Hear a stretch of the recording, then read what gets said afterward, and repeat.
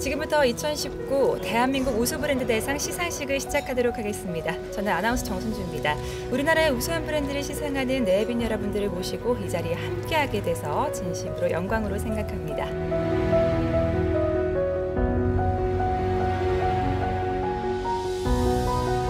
안녕하십니까. 오늘 한국경제매거진이 주최하는 2019 대한민국 우수 브랜드 대상 시상식에 먼 길 찾아와 주신 내빈 여러분과 각 기업 관계자분들께 감사의 말씀을 전하며 수상기업에도 아낌없는 축하의 말씀을 올립니다.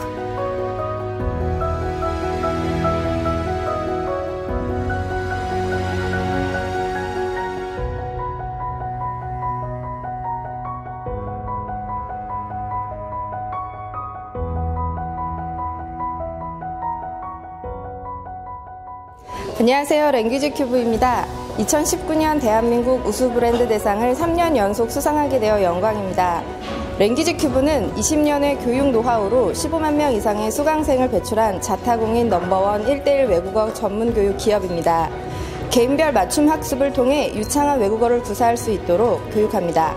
대한민국 1대1 외국어 교육의 선두주자로서 소비자들에게 더욱 신뢰받는 랭귀지 큐브가 되겠습니다. 감사합니다.